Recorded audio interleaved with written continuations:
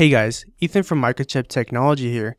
In today's video, we will talk about the new and innovative signal routing port peripheral available on the PIC18 Q71 family of microcontrollers and future devices.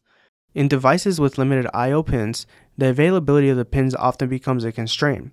For example, applications that involve multiple peripherals to be interconnected with one another often encounter the issue where not all peripheral signals can directly communicate with one another, which requires the signals to be routed via external I.O. pins to establish that connectivity. A band-aid to the solution is to use a higher pin count device, ensuring that all connections can be made, but this not only increases the overall cost of the design, but can be an inefficient use of device resources if many of the I.O. pins are unallocated. For instance, let's consider the SPI peripheral, which may have limited internal selection options for its clock input, when a peripheral such as the universal timer isn't an option as a clock source for the SPI, you will need to use two I.O. pins to connect the timer's output to the SPI clock input. However, this approach might not be optimal, especially in low pin count devices where the I.O. pins are a valuable resource.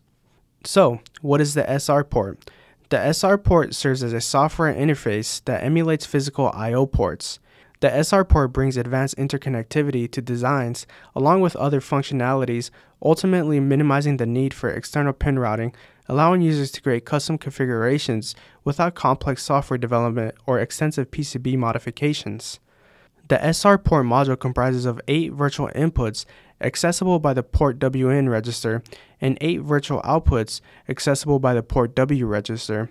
These virtual pins are extremely flexible, enabling on-the-fly customization to match specific application needs. Each signal routing pin offers a versatile range of input selections, including outputs of various core independent peripherals such as the PWM, comparator, SPI, configurable logic cell, and more. This creates a hardware-based solution for exchanging data between selected peripherals and a virtual pin.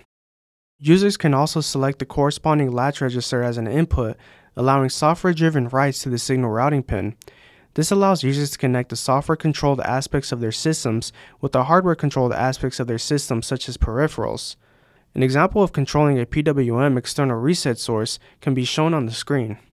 For applications that require advanced synchronization and timing, the SR port offers a wide selection of clock sources, including clock sources from peripherals, internal and external oscillators.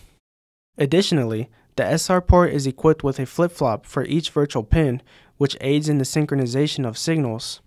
The range of input selections also includes the output of the immediate next signal routing pin as an input. This used in conjunction with the flip-flop that each virtual pin offers allows for shift register operations. The SR port also functions as a high-level input selection multiplexer for the entire device, as it can connect the output of digital peripherals such as timer modules, PWM modules, configurable logic cell, and more into the inputs of other peripherals internally through peripheral pin select, eliminating the need to route those signals to an external I.O. pin to be able to communicate with one another. An important thing to note is that on future devices such as the PIC18 Q24, users have the option to directly tie the output of the SR port to a physical pin on the microcontroller. This eliminates the need for having to use additional resources on the microcontroller to connect the SR port's output to a physical pin. It's important to consult the specific device's datasheet to ensure the device supports this added functionality. The SR port module synchronous operation enables state machines to be implemented in hardware, reducing the CPU's load and enabling it to manage other tasks. When used as a state machine, the SR port's flip-flop acts as the holding register for the current state, while the next state and output functions for the state machine are managed by the configurable logic cell peripheral, which integrates seamlessly with the SR port. Lastly, the SR port offers interrupt on change functionality to monitor trigger events in applications and can also serve as a trigger for the DMA and ADC peripherals. If you're interested in learning more about the SR port, a link in the description below will be provided to the peripheral page along with a link to the tech brief that talks about the SR port in more detail. Also linked in the description is a serial in, parallel out shift register code example done by our applications team using the PIC18 Q71's SR port. That is all for today's video. Be sure to like, comment, and subscribe for more.